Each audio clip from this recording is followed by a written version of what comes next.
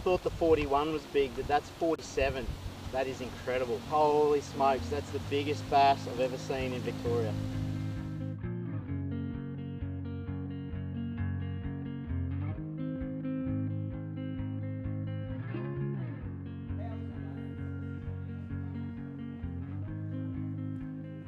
Now tomorrow brings the fourth round straight in this giant quadruple header that starts the 2022 season this year and there's a really cool element to it in that it is actually my first ABT Bass Round tournament ever. It'll be on Lake Glenmaggie and it's actually only 20 minutes away from where I live but due to water levels every time that I've tried to get into this system I haven't been able to float the boat so this will be the first time that I'll also fish the system there's no doubt that I'll be out of my depth in terms of bass fishing, but I think it's going to be a great opportunity to learn and meet some guys in that freshwater scene. I was getting them deep. The sun was up. So you need you need the sun up to get them deep. Well, not always, but like I just felt like they were just they weren't shallow when that sun was there. Like they were just looking for shade, you know, especially at the bridge on the pylons and stuff. That last boating session at Gippsland Lake, so a few days ago, was really rewarding. It was great to follow the Pry family around on pre-fish, then get out with Tommy Wood as my non-boater on day two and really watch him carve the field from the back of the boat and finish in that top 10 after donating on day one. Oh, oh, dude, dude, that is so... holy. Oh my god! We have to. That is fucking giant. That is a giant, dude. That is a fucking giant. yeah, take a photo. Look at that beast. Yeah. So the weather was challenging and the conditions were tough. And even though we had a poor result on day one, which meant the final result was never going to be great, there were smiles everywhere. The drinks were cold, the environment was great, and the laughs were awesome. It really did reinforce to me that the main reason for coming to these tournaments is the people. And if you happen to catch a fish, that's a bonus. Log style, I can make fun, but see how he just copied my shot. It's going to be in the gonna- he's Daiwa gonna video. po- he's going to post his first. It'll be in the Daiwa video, and uh, it's now official. It's going to be a case of who. Alrighty, anglers, let's kick off the 2022 Darwin I literally started my comp again at about 11.45. I pulled up to that same deep spot. That was chaos. That was proper chaos. I'm shaking. I am shaking. Booyah! Felt like they were just looking for shade, you know, especially at the bridge and the pylons and stuff. We're gonna turn and burn as soon as this is done, dude. Yeah. Are you ready for me?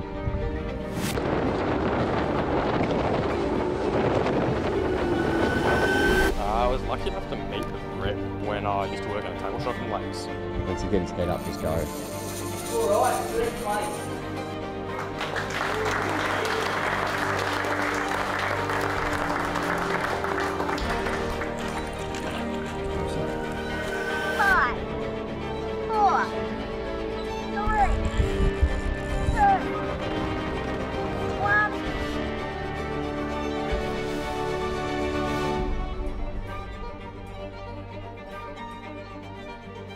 Hey mate, how you doing?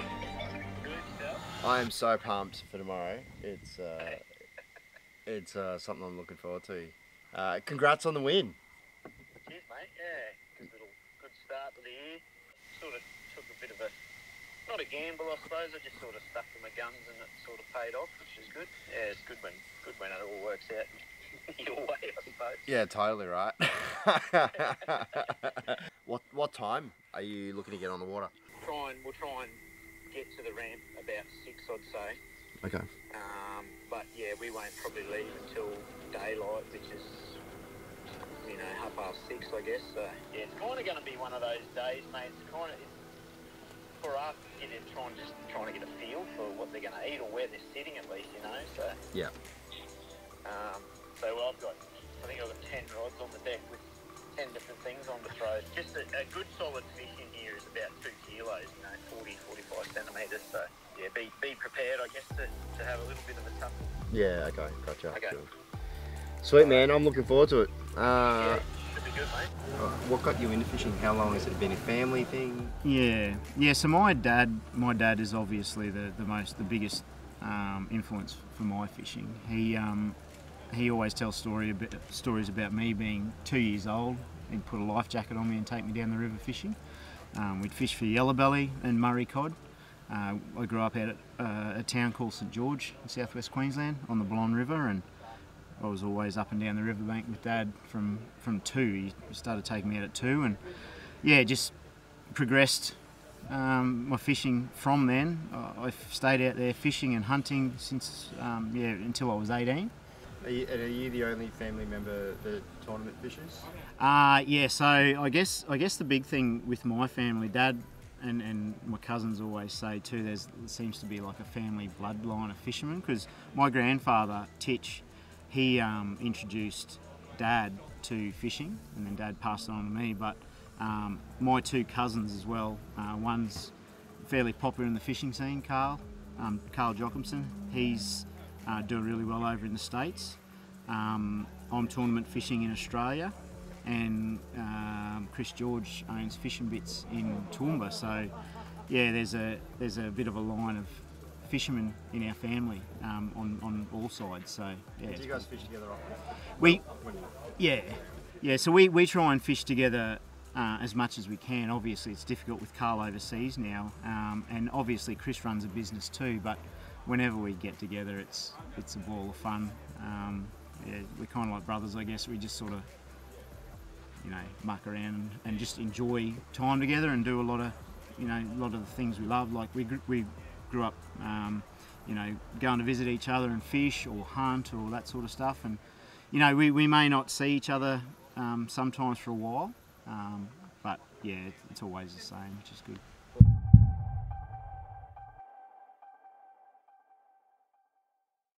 Fish maybe 100 metres, go a little bit further, 100 metres, 100 metres. see what pops up on the sound. It's more so just sort of trying to identify what they're eating, where they're sitting, depth. And you usually lock off the pole like you're doing here now on an angle and then take the boat down. Oh, that looks good. Redfin. That might have been a bass. Uh, there's a redfin there. Yeah. It's got a bit.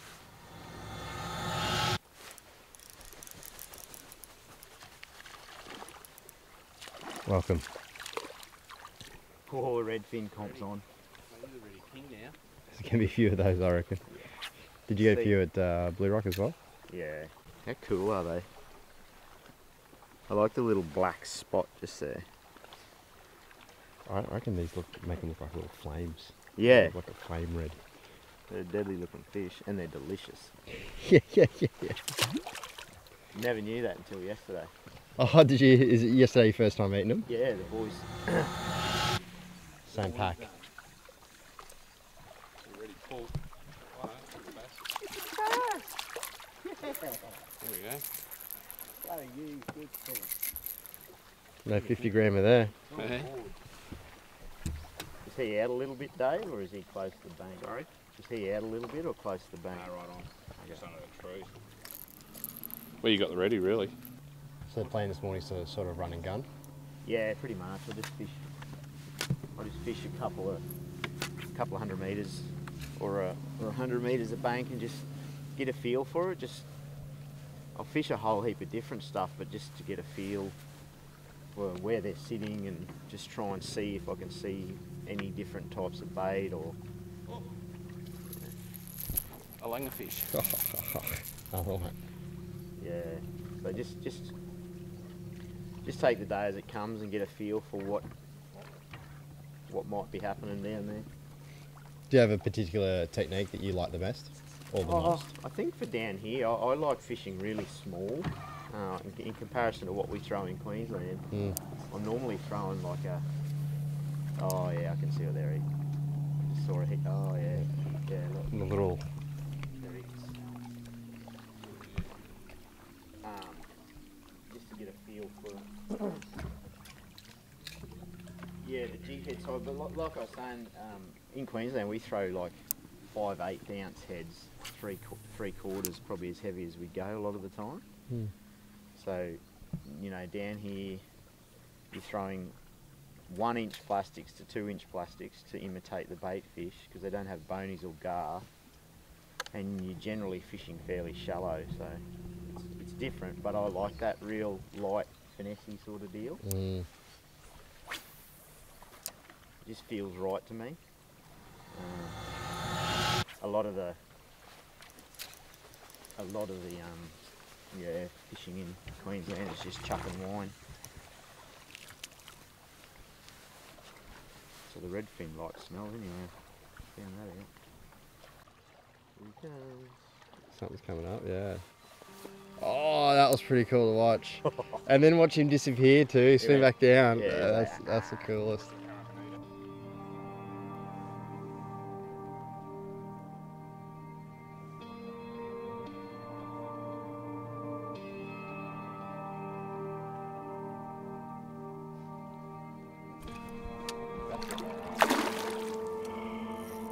Well, at least you now know, right?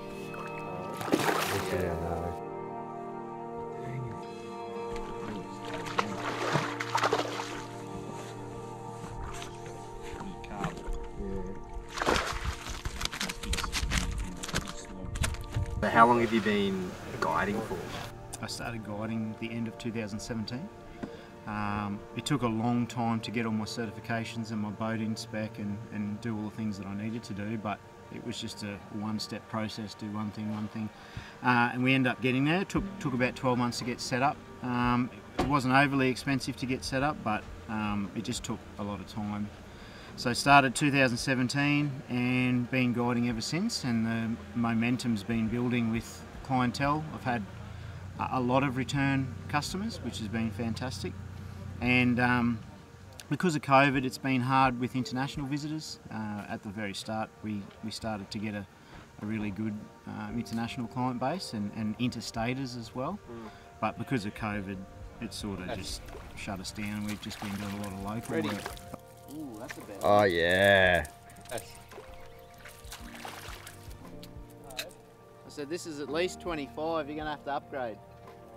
My, I guess my expertise is sort of based around Australian bass. Um, I, I love chasing Australian bass, and there's so many different ways to catch them in different seasons as well. So I don't just off, offer bass. I do yellow belly. Uh, the international visit, visitors like chasing Saratoga because they're a renowned sport fish. They like to jump and they, they can be sight cast. Um, but they're the three big species: yellow belly, Australian bass, and Saratoga. Basically Aussie Aussie freshwater. Pretty So, much, yeah, yeah. A lot of dam stuff as well. I stay I stay away from the barra. I let the professionals do the barra. In a week, how often are you on the water? uh, I'd probably average three days a week um, on the water. Um, some weeks are obviously busy than others, uh, especially around holiday time. Summer holidays are really busy. Um, but yeah, even even through the winter months when it's really cold, people still want to learn how to you know catch fish in the cool cooler months. And um, but I would I'd, I'd average three days a week. My biggest advice is move when you got to move, or move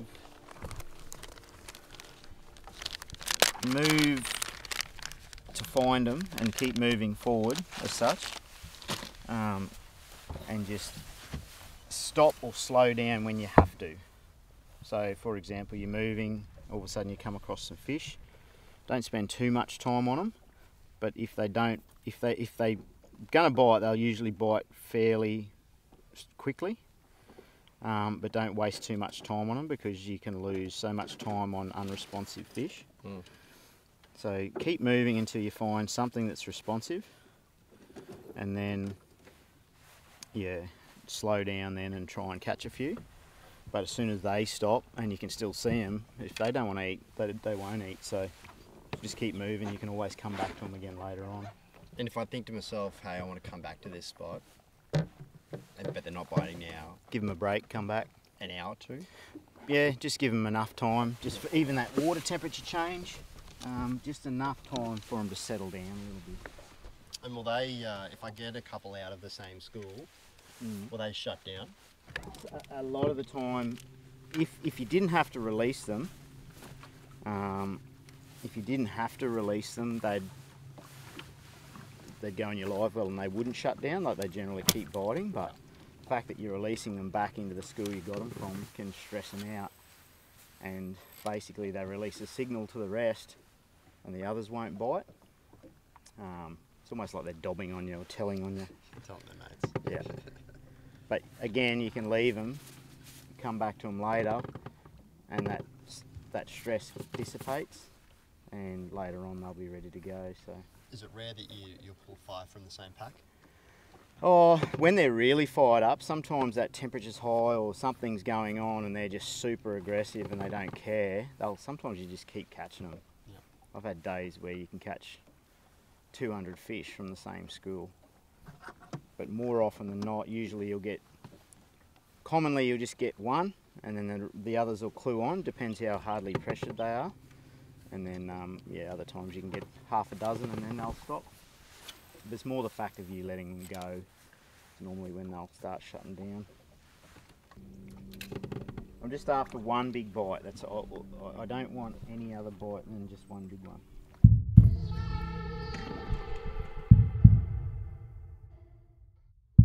Good shot.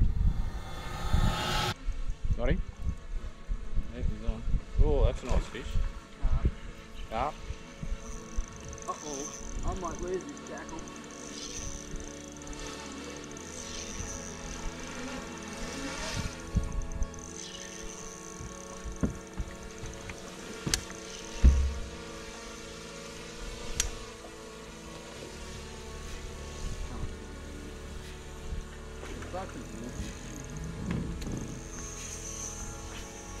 Oh yeah, fun.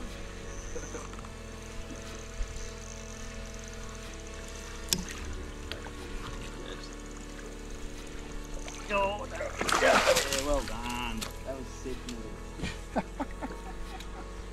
he was just about to go again. Yeah, yeah. I saw it, seen his head just move a little. I'm like, oh no. no, nice.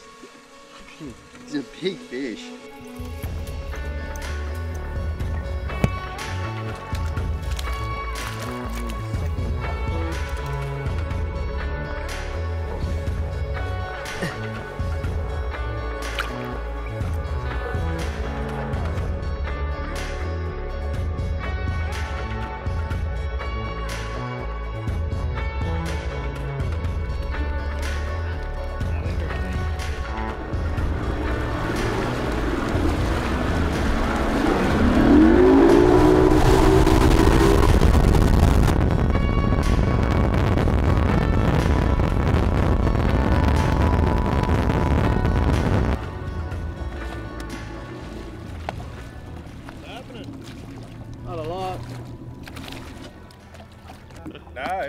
Pretty. I don't even think I've seen a bass to be honest. Like, I think every now and again, I think like, where I pulled up there earlier to um, I pulled that carp.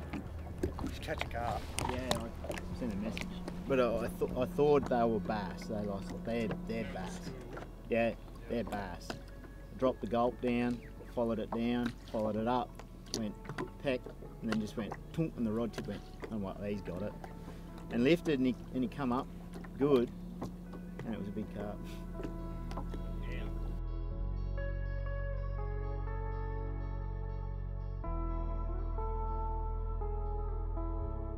Tell me why you chose to come to Glen Maggie.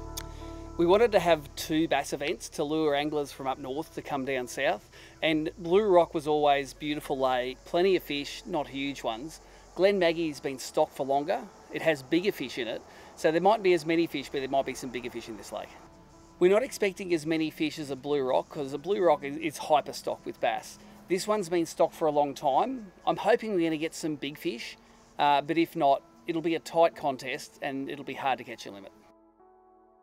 I'll tell you what, for the first pre-fish ABT bass competition day that I have experienced, that pre-fish was a difficult one. I had a lot of fun on Matt's boat, but I'm now scratching my head about what exactly to do. He's going to target the crankbait bite in the shade. We're boat number nine tomorrow, so from about 6.45 through to about 7.30 when the sun gets kind of established, we're going to throw surface close in at the edges. After that, we're going to mix it up with some twitch baits and some crankbaits to see if I can get a hard body bite. And then from there, I don't know, I'm just going to have to make it up. But there is one thing that I probably want to try and do tomorrow, and that is to keep it simple and keep it to the things that I know. Internally, though, I think it is going to be a mad grind tomorrow. I think I'm just going to have to pound and power fish and move and find out exactly what these bass want to eat. Can't wait.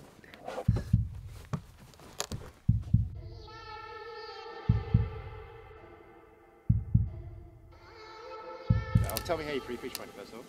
To me, it was pretty productive. I thought it was good. Um, you don't want to catch all the big fish on your pre-fish day. You just want to you want to go into it and come out of it with a plan. And I've got a plan now, so Yeah, cool. um, yeah. There's just little subtle things. I guess little subtle things too that I picked up along the way, like depth fish were sitting, the bait they're eating, what they're sort of relating to, and how much work you got to put in. I think you just got to put you've got to put the work in. I don't think there's a specific bite time. I think I think there'll be obviously a better bite period first thing in the morning. You're definitely going to have the fish right up hunting and looking, but I think that's going to peter out fast like it did this morning. As the sun comes up, the fish are just the sun comes up, the fish go like this. Yeah. So yeah, I reckon that that first hour is going to be really crucial. How often does it change overnight in the Oh, it. I being a guide back in Queensland, I know that most of the time the fish are still there, but what they might do is they might have subtle changes in what they're eating. Um, you know, one day they might eat a spoon really well. This is back in Queensland, and then the next day they might eat a plastic really well. Um, and it's it's amazing how quickly the fish change. But being a tournament angler, you have to also be just as quick to readjust. Mm. So you've always got to fish with an open mind and be mindful of what's happening around you. And uh, if I was to go out tomorrow, where would I find you at the start of the day? Um, what's, what's your plan? yeah, so, so most likely I'd, I'd be more inclined to be fishing um, rocky structure that's shadowed. It's as simple as that. Yeah. Yeah, um, and ch- just depending on how many fish you've got, um, just chase that until you've got your five. I think, I believe that having five of any size is going to be a good start. Yeah. And then after that, see what happens. And a co-angler only needs three. My biggest thing is time management. I found with same with guiding and same with tournament fishing. You've got to try and find an area that you can really dig in, but still move around and not waste your time. You know what I mean? Like you, you, you can really work an area thoroughly, um, but have a large area to do it. I see what you're saying. So there you're going to have like fresh casts, unused water. Yeah. But it's an area that you can Yep. tune yourself into. Yep, yep. Tune yourself into, and you can spend more than just a couple of casts there and, and get up and go. Like I'd, I'd, I'd rather be spending more time fishing than moving. The yeah, the longer I do it, the more I just realise that you can start. Sometimes you get hooked up on where you should start in the. Mm. Then I realised the two places at Blue Rock where I wanted to start, I never even got anywhere near. It was just like, out of Oh, really? it's funny you mention that. For coming from the kayak background, where you go and start your plan for the day is, is crucial. Mm. When you've got a donk on the back of whatever engine, Mm. you know, of whatever boat, Mm.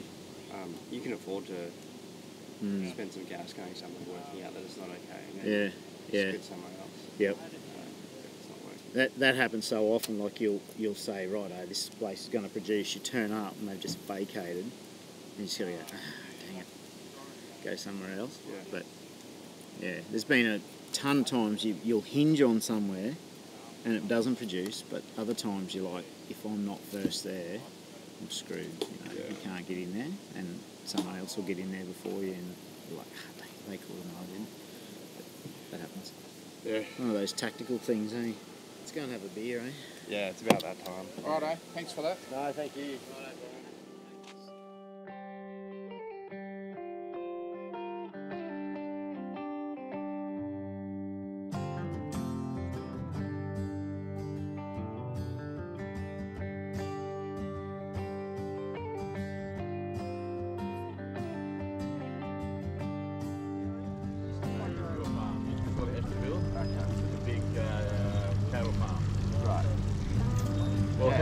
heading from Cameron Park to West Wallsend now, it's just all dirt. They're just tracking every single tree out. Everyone, Yeah, they, everyone's up, up in the arms about it. Uh, McCoy Group's come in and said, we'll take that. it." My wife was telling me there's a place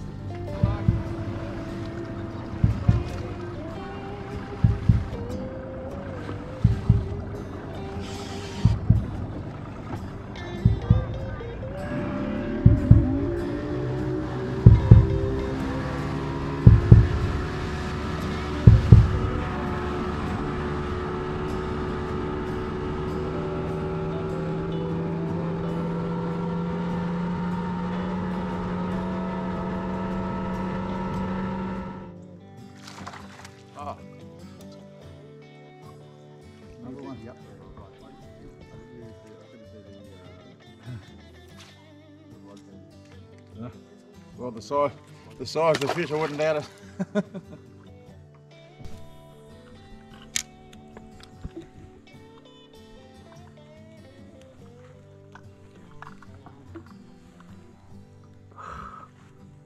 Oh, look at you.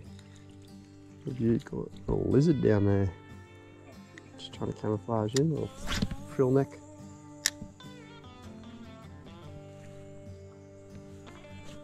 Oh, there's two of them there. They're enjoying each other.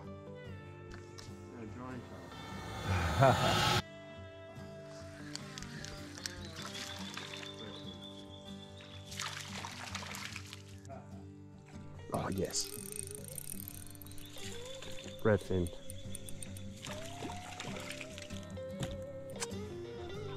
How good's a surface bite though? Oh, I love a so good surface bite.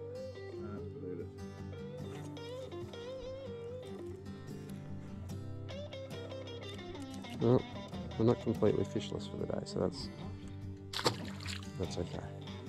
I'll probably just hit a few of these. See how we go for half hour. Yeah, yeah. I made a contract with someone last night. They were like, if you don't catch any fish, what I want you to see you do is throw a three and a half inch grub around. I'm like, no, never. But apparently, apparently that's a thing.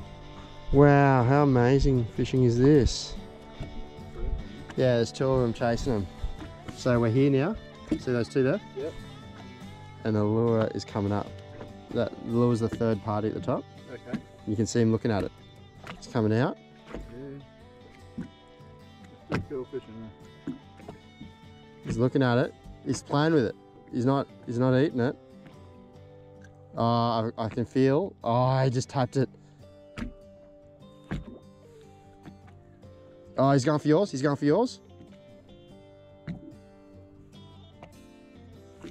We've got. I've got about four looking at mine now. Yeah. Oh. Yeah. Oh. Well, this is unexpected and very exciting at the same time. You can see them there. Yeah, yeah. Yeah, here we go. Oh! I should, I should, should keep it down.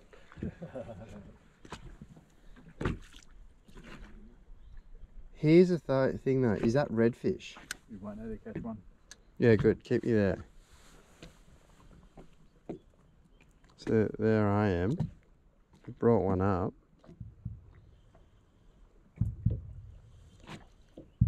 With me. Oh, I'll I'll just move this to you for a sec. There's yours. There's one coming after it. Oh, did you get it? Yeah, it came up all the way from the bottom. Yeah. Yeah. Yeah. Yeah. Good. I can see. I saw that happen. Let's it. Bass. Is it? Yeah, how good is he is. Front. On front. Oh, buddy. Well done, mate. Well done. Good man. Good man. How good is that? Gonna have to steal some of that gulp off you. Well, we wanted. I wanted to try something new.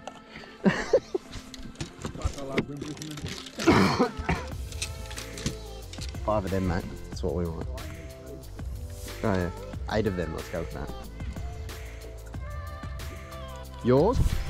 Steve Morgan has weighed in one fish for five grams. Yep. Ready to rumble. Yeah.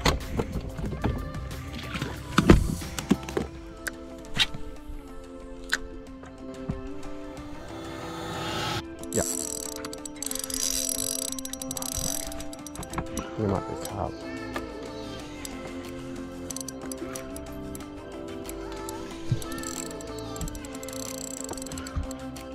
Yeah. Oh,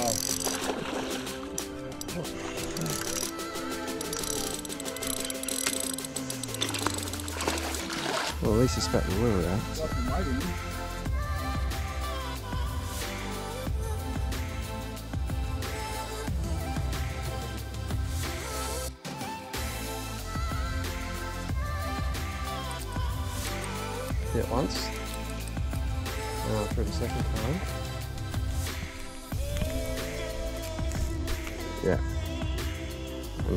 three, I think.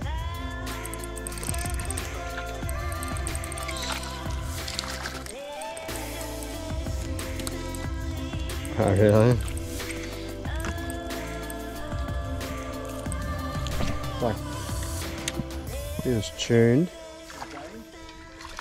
81.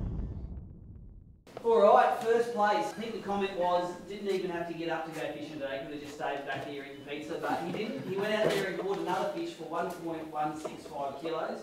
Came second place at Blue Rock and won this event. So he's going to be leading the angler of the year. Big round of applause for Mitch Carney.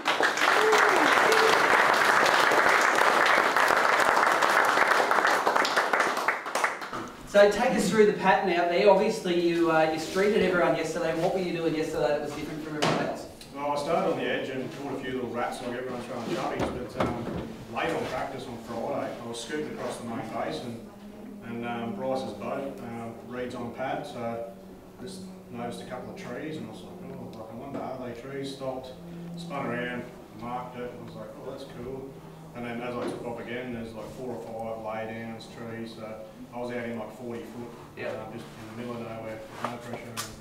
And Yeah. worked yesterday and it just, uh, And you, you, wore, you wore about yesterday. well, yeah, I didn't, I don't know, I don't know what happened. They were still there today. Is this where you found him yesterday? Yeah. I can't see any fish down there. Are you targeting like a small school or something, or Singles. singles? Yeah. There's a heap of, um, I've sort of moved off it a bit now, back over where you just come from. There's a heap of um, like lie downs and stumps. It looks like they've almost cut trees off. Yeah. You'll probably pick it up on side scan. Like, Yeah, I can see them. um, yeah, yesterday I could just drive to each one of them and there was fish all over it. Today, there's still fish there, but they'll just like, I'm like pitching out to a fish and then he'll just like scoot like five metres straight to it and then just sit on it. Just nose it, like just, and he'll follow it all the way down, he'll follow it all the way up. I reckon I've had like two bites. Oh, It's like have you got anything, Kev? Oh, I had one bite, which I'm pretty sure was a ready. Lost it the way up.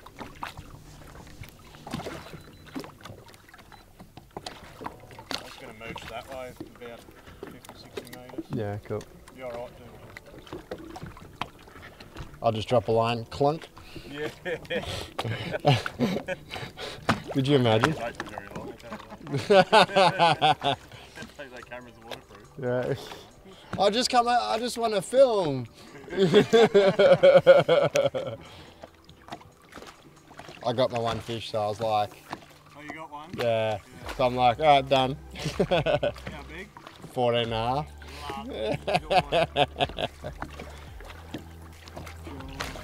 Tell you what, just in general though, the, the bass comp's actually been quite good. I know the fishing hasn't been great with the amount of fish that we've got or the quantity of the size, but um, you know, I turned up to the boat ramp and knew nobody, uh, well, knew minimum amount of people, and someone was there helping me within a minute. Hey, do you want to do you want a hand back in the car in? Thanks very much for that, dude. And everyone's camped together. I really, I'm really vibing it. I guess that probably happens a little bit more in the bass uh, space, but in the bream space, because the towns are generally all local that we go to, you know, there is a there is some house sharing and whatnot and caravan parking, but majority of the time, um, people have got B&Bs in their own kind of place, which is of course sweet, but you just get a different atmosphere at these bass rounds, and you can see that. You can see the the groups of guys with the armchairs out and the guys moving between. I rate that. I really do. I love, I love it. Dirty, filthy carp.